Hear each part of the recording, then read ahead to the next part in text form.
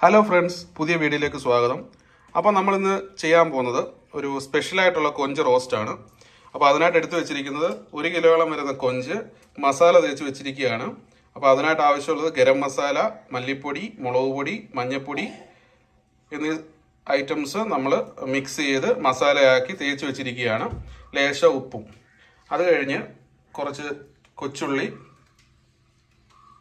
കരിയാപ്പല പച്ചമുളക് തക്കാളി ഇഞ്ചി വെളുത്തുള്ളി പേസ്റ്റ് തേങ്ങ ചെറുതായിട്ട് നുറുക്കിയത്. അതിനുശേഷം നമ്മുടെ നാടൻ വെളിച്ചെണ്ണയും അപ്പോൾ ഇത്രയും ഐറ്റംസ് ആണ് നമുക്ക് ഈ ഒരു കൊഞ്ച് റോസ്റ്റ് ഉണ്ടാക്കാനായിട്ട് വേണ്ടത്. അപ്പോൾ ഗൈസ് അതിനാവശ്യമായിട്ട് നമുക്ക് കൊഞ്ച് ഫ്രൈ ചെയ്തെടുക്കേണ്ടതാണ്. അപ്പോൾ അതിന് വേണ്ടിയിട്ട് ചീഞ്ചിട്ട് നമ്മൾ ചെറിയ തീയിൽ ചെറിയ തീയിൽ എണ്ണ ചൂടാക്കി അതിലേക്ക് കൊഞ്ചിട്ട് കൊടുത്ത് വറുത്തെടുക്കണം.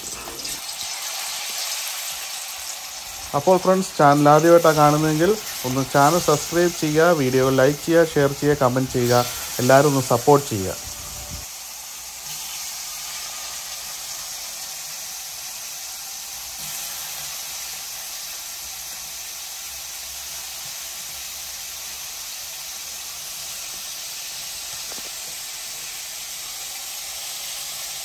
ആവശ്യത്തിന് വെളിച്ചെണ്ണ ഒഴിക്കാം. ആവശ്യത്തിന് വെളിച്ചെണ്ണ നാടൻ വെളിച്ചെണ്ണയാണെങ്കിൽ നമുക്ക് നല്ല ടേസ്റ്റ് കിട്ടും. ഇനി അല്ല പാം ഓയിലാണെങ്കിൽ അത് അവരവർ യൂസ് ചെയ്യുന്നതനുസരിച്ചിട്ട് ചെയ്യാം.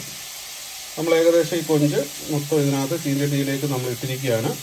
അപ്പോൾ അത് ചെറിയ തീയിൽ അധികം തീയിട്ട് കൊടുക്കരുത്. ചെറിയ തീയിൽ അത് വറുത്തെടുക്കുക.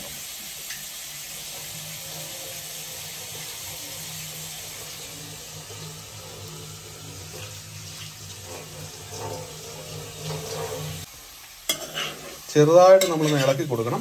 അധികം ഇട്ട് ഇളക്കി പൊടിക്കരുത്. ശകലം ഒന്ന് ഇളക്കി എണ്ണയായിട്ട് മൊത്തം ഒന്ന് മിക്സ് ചെയ്ത് കൊടുക്കുക. നമ്മളുടെ കൊഞ്ച് എണ്ണയ്ക്കകത്ത് ഇടുന്ന നല്ലപോലെ ഫ്രൈ ആയിക്കൊണ്ടിരിക്കുക.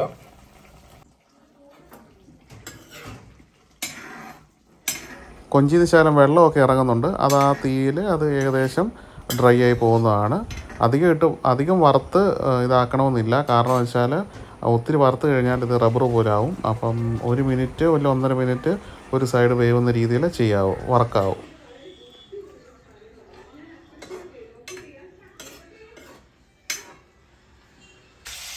ഏകദേശം വെള്ളം പറ്റിയിരിക്കുകയാണ്. അപ്പോൾ കുറച്ചുകൂടെ ഒന്നുകൂടെ ഒന്ന് ഡ്രൈ ആയതിനു ശേഷം നമുക്ക് നമുക്ക് വാങ്ങി വെക്കാം. അപ്പോൾ ഏകദേശം റോസ്റ്റ് ആയിട്ടുണ്ട്.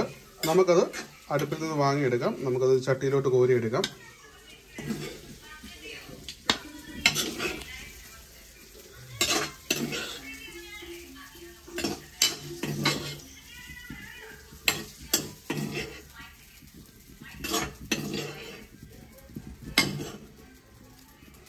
ഇനി നമുക്ക് ചെയ്യാനുള്ളത് ലേശം എണ്ണ കൂടി നമ്മൾ ആ ചിഞ്ചടി തന്നെ ഒഴിച്ചിട്ട് നമ്മൾ എടുത്തു വെച്ചിരിക്കുന്ന ഉള്ളിയും തേങ്ങാക്കൊത്തും എല്ലാം കൂടെ ഒന്ന് വയറ്റി എടുക്കണം അപ്പോൾ അതിനായിട്ട് ലേശം വെളിച്ചെണ്ണ ചിഞ്ചട്ടിയിലേക്ക് ഒഴിക്കുക. എന്നിട്ട് നമ്മൾ എടുത്തു വെച്ചിരിക്കുന്ന തേങ്ങാക്കൊത്തും എല്ലാം കൂടെ നമ്മളിതിലേക്ക് ആഡ് ചെയ്യണം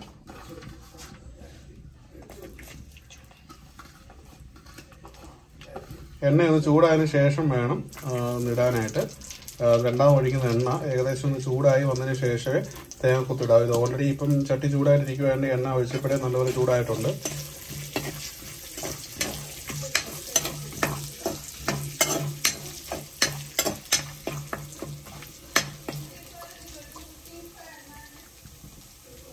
അപ്പോൾ നിളന്ന് ജസ്റ്റ് ഒന്ന് ഇളക്കി കൊടുക്കുക. ഏകദേശം ഒന്ന് തേങ്ങ കുത്ത് മൂത്ത് വരുമ്പോഴത്തേക്കും നമുക്ക് അതിലേക്ക് ഉള്ളി ചെറിയ ഉള്ളി നമുക്ക് ചേർത്ത് കൊടുക്കാം. അപ്പോൾ കൈസ് തേങ്ങ ഏകദേശം മൂത്തിരിക്കുകയാണ്. തേങ്ങാക്കുത്ത്. അടുത്തതായിട്ട് നമ്മൾ എടുത്തു വെച്ചിരിക്കുന്ന ഉള്ളിയും കൂടെ നമ്മളത് ചേർത്ത് കൊടുക്കണം.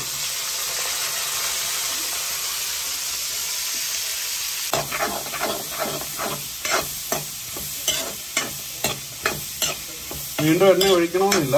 ആ എണ്ണയിൽ തന്നെ വേണം നമ്മൾ മൂപ്പിച്ചെടുക്കാനായിട്ട് ഒത്തിരി എണ്ണ ചേർക്കേണ്ടതായിട്ടുള്ള ആവശ്യമില്ല. വീണ്ടും നമ്മൾ ചീഞ്ചട്ടിയിലേക്ക് കുറച്ച് പച്ചമുളക് ഒരു രണ്ട് പച്ചമുളക് കീറി ഇടുക. നമ്മൾ രണ്ട് പച്ചമുളക് എടുത്തിട്ടുള്ളൂ. അത്രയും ഇനി മതി എന്നുള്ളത് വെച്ചിട്ടാണ്. അപ്പോൾ രണ്ട് പച്ചമുളക് കീറി ഇടുക. രണ്ടോ മൂന്നോ ഇടുന്നതുകൊണ്ട് കുഴപ്പമില്ല. നമ്മൾ രണ്ടെണ്ണം ഇട്ടിട്ടുള്ളൂ. കരിയാപ്പില കൂടി ചേർത്ത് കൊടുക്കുക. ആവശ്യത്തിന് കരിയാപ്പില കൂടി ചേർത്ത് കൊടുക്കുക.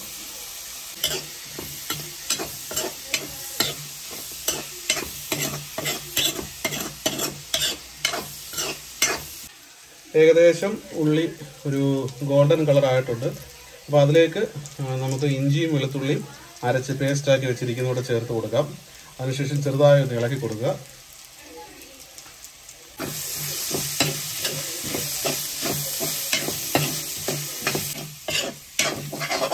നല്ലപോലെ ഇളക്കി കൊടുക്കുക. നല്ലപോലെ മിക്സ് ആവുന്ന രീതിയിൽ നല്ലപോലെ ഇളക്കി കൊടുത്ത് വീണ്ടും കുറച്ച് നേരം കൂടെ അരപ്പ് പിടിക്കുന്നിടം വരെ ഒന്ന് ചെറിയ തീയിൽ ഒന്ന് ചൂടാക്കുക. അധികം തീ ഇടണമെന്നില്ല. ചെറിയൊരു കനൽ മതി. ഇത് വെച്ചിരിക്കുന്ന തക്കാളി കൂടി ചെറുതായിട്ട് അരിഞ്ഞ് ഇതിലേക്ക് ചേർത്ത് കൊടുക്കുക. ഒരു തക്കാളി മതിയാവും. ആവശ്യത്തിനുള്ള ഉപ്പ് ഇതിലേക്ക് ചേർത്ത് ചീഞ്ചട്ടിലേക്ക് ചേർത്ത് കൊടുക്കുക. ഒരു ചെറുതായി നിലക്കി കൊടുക്കേണ്ടതാണ്.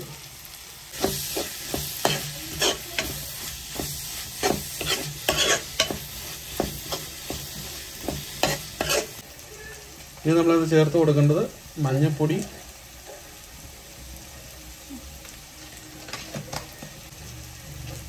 മല്ലിപ്പൊടി ചേർക്കണം. മല്ലിപ്പൊടി ഒരു രണ്ട് സ്പൂണ്. ആവശ്യത്തിന് ചേർക്കണം.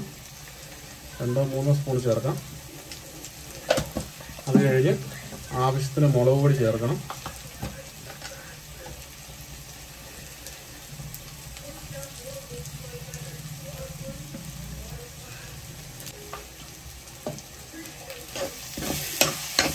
നല്ലപോലെ ഒന്ന് ഇളക്കി കൊടുക്കുക. നല്ലപോലെ മിക്സ് ആവുന്ന രീതിയിൽ നല്ലപോലെ മിക്സ് ആവുന്ന രീതിയിൽ അതൊന്ന് ഇളക്കി കൊടുക്കുക. ലേശം ഗരം മസാല കൂടി ചേർത്ത് കൊടുക്കണം. ഗരം മസാലയും ചേർത്ത് നല്ലപോലെ ഇളക്കി കുറച്ച് നേരം കൂടെ ഒന്ന് ചൂട് ചൂടാക്കേണ്ടതാണ്. നല്ല മണം വരും. ഗരം മസാല ചേർത്തപ്പോൾ നല്ല മണം.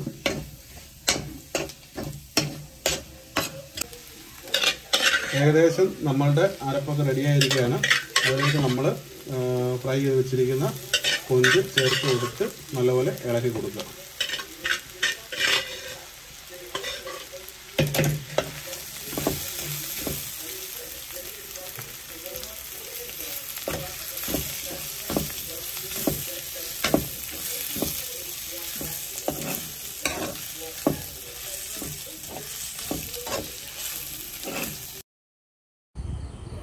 അപ്പോൾ ഗൈസ് നമ്മുടെ കൊഞ്ച് റോസ്റ്റ് റെഡി ആയിരിക്കുകയാണ്.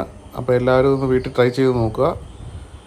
വീഡിയോ ഇഷ്ടപ്പെട്ടാൽ ലൈക്ക് ചെയ്യുക ഷെയർ ചെയ്യുക ചാനൽ സബ്സ്ക്രൈബ് ചെയ്യുക. അടുത്ത വീഡിയോയിൽ കാണുന്നതിന് ബൈ ഫ്രണ്ട്സ്